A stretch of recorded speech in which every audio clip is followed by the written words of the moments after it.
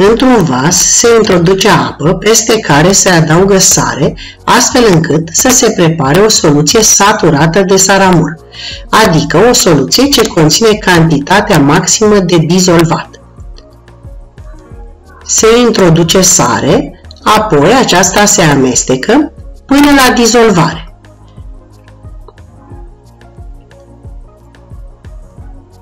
Se repetă procedeul de mai multe ori până când sarea nu se mai poate dizolva în cantitatea de apă existentă.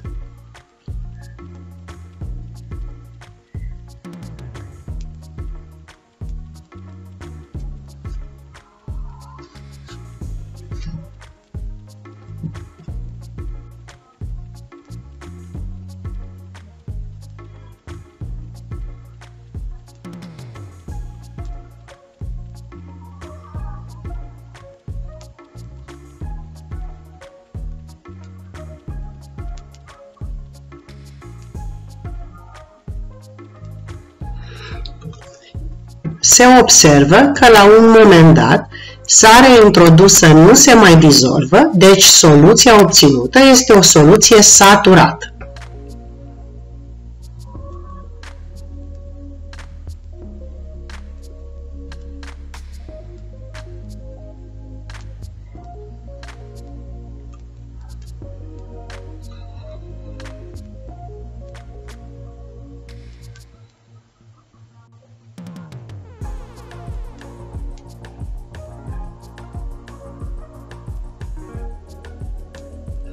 Soluția saturată de saramură obținută se răstoarnă într-un pahar.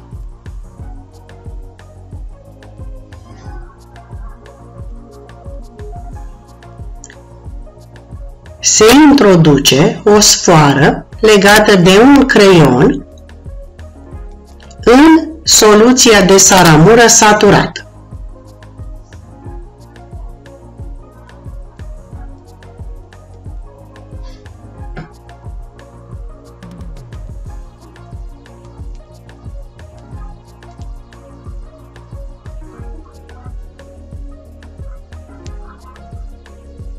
Sfoara se așează astfel încât un capăt să fie introdus în soluția de saramură, iar celălalt capăt să fie în afara soluției legată de un creion.